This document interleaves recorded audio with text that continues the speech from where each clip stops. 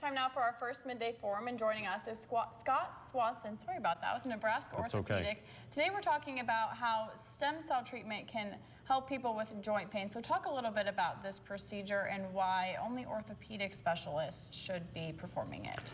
Uh, yeah, so um, at Nebraska Orthopedics for the last year and a half, we've been offering stem cell treatments for um, uh, as an alternative to joint replacement for um, uh, for certain patients the ideal candidate is somebody who has um, uh, tried other more conventional conservative uh, treatments, but is either too young for a joint replacement or who is otherwise not a candidate for a joint replacement.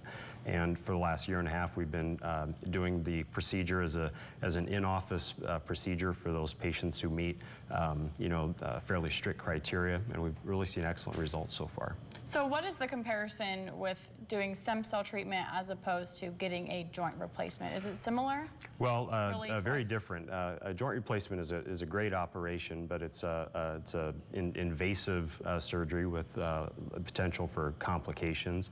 Um, and uh, whereas stem cell treatment, what we do is we, um, uh, as an in-office procedure under local anesthetic, we take the patient's um, uh, bone marrow uh, blood from their uh, pelvis or hip bone, and then we uh, minimally process that out, and we're able to um, isolate um, the patient's own stem cells.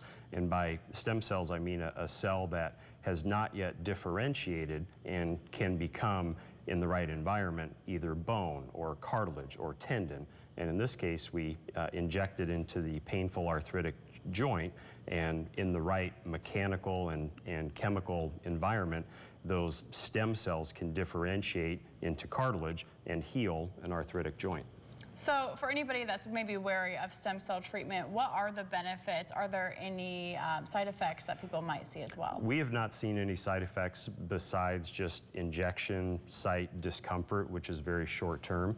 Um, and the uh, potential benefits are um, you know, pain relief and uh, potentially prolonging um, the life of that joint and um, uh, potentially postponing or eliminating the need for uh, a more invasive procedure. So someone at home that might be watching this, what, you know, if they want, if they're interested in this procedure, what are the next steps that they need to take in order to see if they are eligible? Well, we really think that uh, only an orthopedic um, uh, specialist can really decide if this is a good option for somebody. Um, so um, uh, if, if, someone's interested in, interested in learning more, they can either uh, call our office or visit our website at uh, nebraskaortho.com.